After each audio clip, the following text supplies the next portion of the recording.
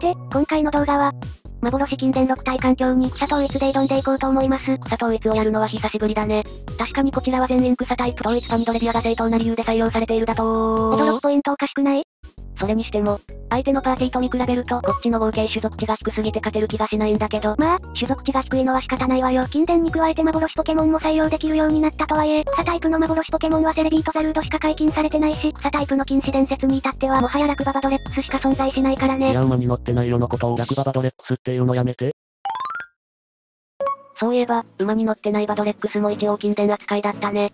合計種族値は500しかないけど。ま、まあ弱くサイスパーという珍しい複合タイプを持っているから、他のポケモンと差別化はできているので大丈夫なのである。バドレックスが喋るのは久しぶりね。でもバドレックスは、タイプと種族値だけを見ると、オール100族のセレビーの完全劣化な上になんならナッシーより合計種族値低いけど本当に大丈夫？一般ポケモンより弱い禁止伝説がいるってマジい、いや、世の本領は馬に乗ってこそ発揮されるから仕方ないのである。世の相場がいないと、ズキュンドキュン走り出せないのである。馬娘にでもなろうとしてるのふむ、馬がいなくて本領発揮できないのか。ならば代わりに我に乗って対戦するというのはどうだ？ザマジェンタが出番欲しいだけだろそれ。ふむ、なるほど。なんかこの馬採用率低くて弱そうなのである。倒すぞ。さて、そろそろ選出を考えましょう。と言っても、私のパーティーの選出パターンは、ザルードセレビーラランテスか、ドレビアキレイハナバドレックスの2択しかないのよね。今回は前者の方が通りが良さそうだから、選出はザルードセレビーラランテスでいこうと思うわ。なるほど、世の出番は動画の後半で回ってきそうであるな。じゃあ世の出番が来るまでは対戦相手側に回っておくのである。唐突に裏切るのやめろ。というわけで、お相手の先発は白馬バドレックス。こちらの先発はザルードだけど、この対面は有利なような不利なような。お互いにタイプ一致弱点を付き合う関係だからね。ちなみにザルードはどんな方なの？初手大魔を前提にしたアタッカーよ。ザルードは高速アタッカー向けの種族値だけど、耐久も結構高いから、大魔すれば、弱点を突かれても基本一発は耐えられるわ。弱点保険が発動すれば無双も夢ではないわね。ザルードは弱点が多いけど、弱点保険が発動させやすいと考えれば弱点の多さもメリットになるかもね。まあザルードは、特性のリーフガードがあまり活かせなかったりとか、専用技のジャングルヒールがシングル向きじゃなかったりとか、悲しいところもあるんだけどね。まあ、幻ポケモンなのに専用技が存在しないセレビーよりはマシだと思うけどね。なるほど、専用技に恵まれないというのは悲しい話であるな。でも世にはこの最強の専用技があるので実質最強の草タイプと言っても過言じゃないのである。いやブリザードランスは馬に乗ってないと使えないから草タイプのバドレックスに専用技はないんだけどね。さて、ブリザードランスをなんとか耐えて弱点保険が発動。攻撃が2段階上がればダイジェットでも白バドを倒せるはずなので、次はダイジェットを打ちましょう。ダイジェットで素早さを上げれば、ザルードがザシアンに先手を取れるようになるね。攻撃が2段階上がったザルードのダイアースで姉上を一撃で倒せるから、うまくいけばザルードで無双できるかもしれないな。さて、というわけで白バドを突破。次に出てくるのは、私鳳凰です。上出た自分を鳳凰だと思い込んでるやつ。皆さん、私は悲しんでいますよ。せっかく金伝を6体採用できる環境になったのにどうして鳳凰である私をパーティーに入れてくれないんですか？お前が鳳凰じゃないからだよ。さて、鳳凰は大ボール。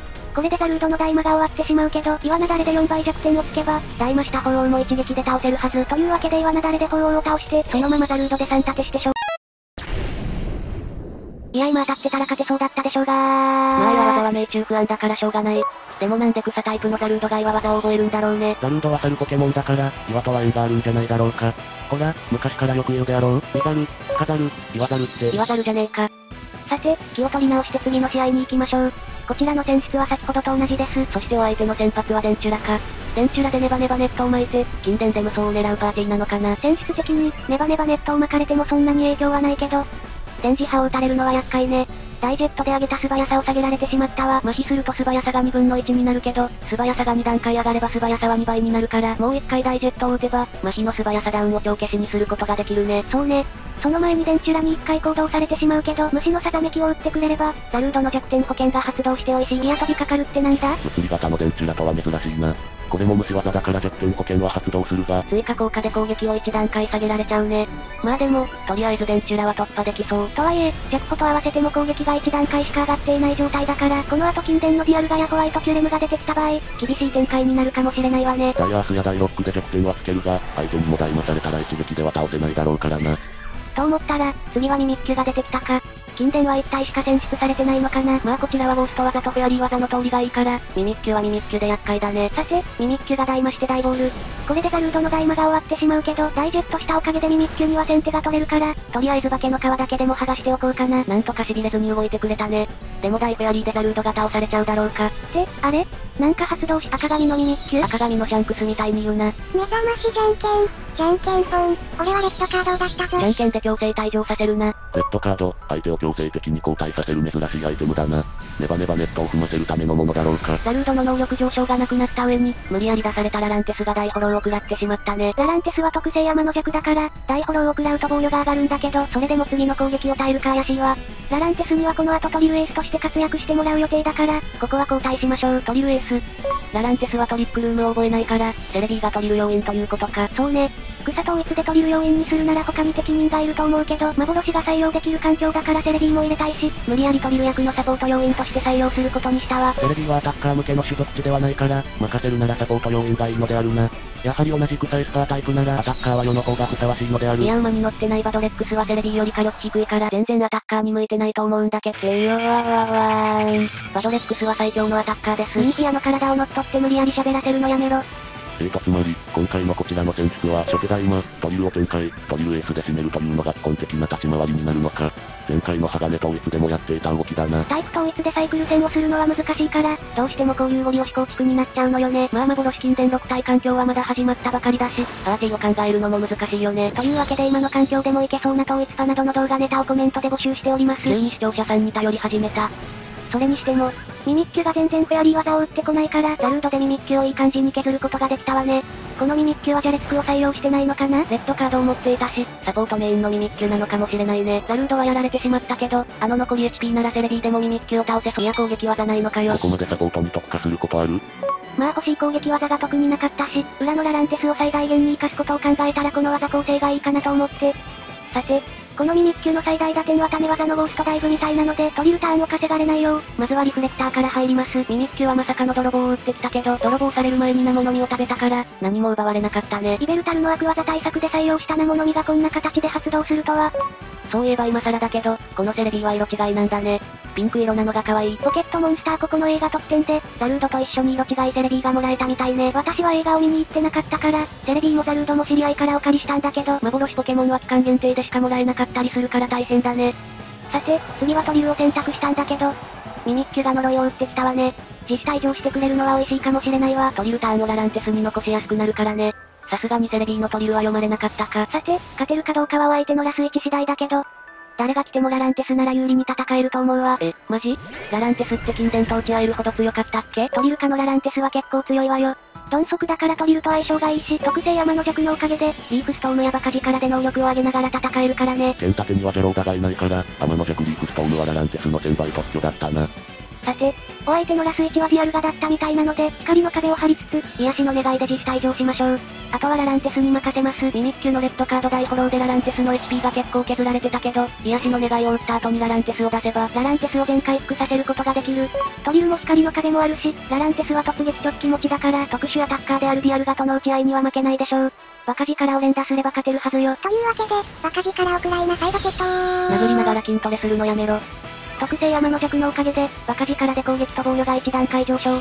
次のバカ力で突破できそうね。ディアルガは弱点保険だったみたいだけど、まあ光の壁と突撃直帰があれば、ラスターカノンは余裕で耐えられるわ。そしてトリルターンはまだ残っているから、バカ力でとどめを刺して、私たちの勝利ね。対戦ありがとうございました。今回は出れなかったので、次の試合はヨが活躍するのである。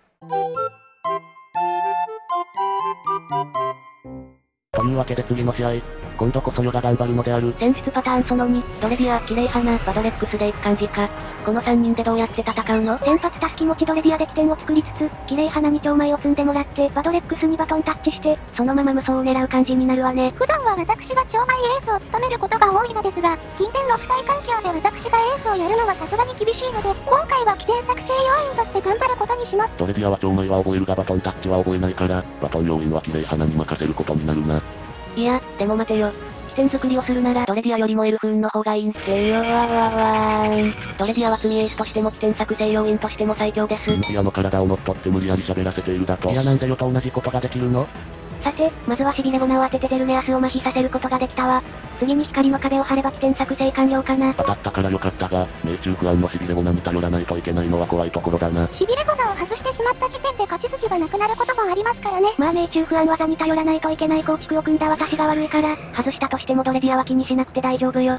まあでも、この環境でもいつかはアタッカー型のドレディアで無双してみたいわね。今回のシーズン初日にポケモンの採用率ランキングを確認してみたんだけど、ドレディアとチュリネがランクインしてたからドレディアの無双も夢じゃないと思うわ。いやドレディアはともかくなんで幻禁伝6体環境でチュリネがランクインしてるの？チュリネは私がランクインさせたわけじゃないから、私以外のどなたかがチュリネ入りで潜ってくれていたことになるわ。世の中にはすごい猛者がいるものね。さて、炎が出てきたと思ったら、またゼルネアスに交代してきたようだが、壁ターンを稼がれてしまうと困るわね。壁が切れる前にキレイハナに交代しようかな。キレイハナは、蝶舞とバトンが両立できる唯一の草タイプだったね。蝶舞が使える草タイプはもともとドレディアしかいなかったはずなのに、いつの間にかキレイハナも習得してるし、ドレディアが覚えられないバトンタッチをキレイハナは習得してるし、ドレディアが覚えられないムーンフォースをキレイハナは習得してるしで、最近はキレイハナも憎いポケモンなのよね。ドレディア絡みで憎んでるポケモン多くね。それにしても、光の壁込みでも結構大きなダメージを食らっているが、ここから超米バトンを決められるのかまあ超米で特防を上げればなんとかなるでしょう。こちらは力を吸い取るで回復することもできるから、回復しつつ、できる限り超米を積んでからバドレックスにバトンしたいわ。力を吸い取るわ。相手の攻撃と同じ値だけ HP を回復しつつ、さらに相手の攻撃を1段階下げる技。近電は基本的に攻撃も特攻も高いから、ゼルネアスみたいな特殊アタッカー相手でもいい感じに回復できそうだね。さて、力を吸い取るを打ったタイミングでは相手が炎に交代。炎の攻撃を下げられるのは美味しいわ。く、私の力が吸い取られていく。でも美少女に力を吸われるのはそれはそれで悪くない気分です。なんやこいつ。でもわかる気がする。美少女に宿り木の種打たれたい。なんやこいつら。さて、攻撃を下げたとはいえ、アタッカー型炎の攻撃は受けられないかもしれないので、もう一度力を吸い取っておきましょう。こちらの HP が満タンでも、力を吸い取るの攻撃ダウンは発生するからね。攻撃を2段階も下げてしまえば、聖なる炎で弱点を突かれてもいい感じに耐えられるね。追加効果で火傷しちゃったけど。まあ、この火傷はあまり影響ないはず。物理技を受けたことで、悪鬼の実が発動して防御が上がるから、次の攻撃も耐えられるわ。あと1回は超米を詰めそうね。相手の攻撃が下がると力を吸い取るの回復量も下がるから、これ以上力を吸い取ってもあまり回復できないかもしれないし、次のターンにバトンタッチした方が良さそうだな。そうね。ブレイブバードをなんとか耐えたので、バトンタッチして、バドレックスに繋ぎましょう。というわけで、勝てるかどうかはあなたにかかっているわ。頑張ってねバドレックス。うむ、世に任せるのである。でも馬に乗らずに対戦するのは久々なので、き、きっき緊張してきたのである。お前が緊張してどうする？そうだ、確か緊張をほぐすおまじないがあったのである。確か人を3人飲み込めばいいのであったな。そんなサイコパスなおまじないはねえよ。さて、バドレックスの技範囲は狭い方だから、あまりエースには適していないんだけど、他の草タイプにはない、最大の差別化要素があるわ。それはアシストパワーを覚えられることよ。アシストパワーは、能力が上がっていればいるほど威力が上がる技だから、超米3回と悪鬼の実の防御上昇を合わせて、アシパの威力は220か。特殊耐久が高い方でもさすがに耐えられないね。タイプ H でアシストパワーを打てる草タイプはよしか存在しない。つまり弱バトン先のエースとして最適なのである。ちなみに超米さん済みをバトンすればバドレックスじゃなくても強いのでは？という意見は余が傷つくので聞きたくないのである。王の心は繊細だった。さて、次はクレセリアが出てきたわね。こちらは大増して大草原を打ったんだけど、トリックルームや電磁波を警戒して、身代わりから入った方が良かったかも。今回は活用できないかもしれないが、身代わり連打でスターの実を発動させるというのも面白そうであるな。スターの実は、HP4 分の1以下の時にランダムで選ばれた能力が2段階上がる木の実だったね。運要素が強すぎて普通は採用されないが、能力が2段階上がる木の実はスターの実しか存在しないから、アシストパワー持ちのポケモンに持たせるのはありかもしれないな。さて、電磁波を打たれたものの、超米で素早さを上げたおかげで先手は取れるから、次の攻撃でクレセリアを突破することができたわ。あとはゼルネアスの前で痺れたりしなければ勝てるはずよ。世が痺れている間にジオコントロールを積まれたら厄介であるな。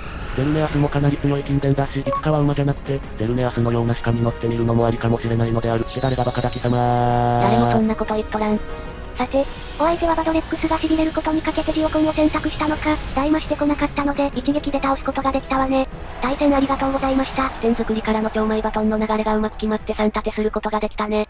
さて、対戦は以上で終了です。それと近況の報告なのですが、先日、繰り返しの多いコンテンツとしてこのチャンネルが収益化停止になってしまっていました。ゆっくり実況者にはよくある話みたいだね。でも YouTube 運営様に最新さを依頼したり、視聴者の皆様にフィードバックなどのご協力をいただいた結果、収益化が戻りました。皆様本当にありがとうございました。多くの方たちに助けていただいたおかげだね。応援や励ましのコメントもたくさんいただいて本当に嬉しかったです。というわけで今後も動画投稿を続けていきますので、皆様これからもよろしくお願いいたします。ゆっくり実況である以上、また AI の判定で収益化停止になることもあるかもしれないけど、そうなった場合は、再び皆様にフィードバックなどの協力をお願いするかもしれないですね。収益なしで、趣味として週1以上の投稿を続けるのはどうしても限界があるからね。さて、それでは今回の動画はここで終わりにしたいと思います。皆様最後までご視聴いただきありがとうございました。動画を気に入っていただけましたらチャンネル登録、高評価いただけると嬉しいです。ではでは。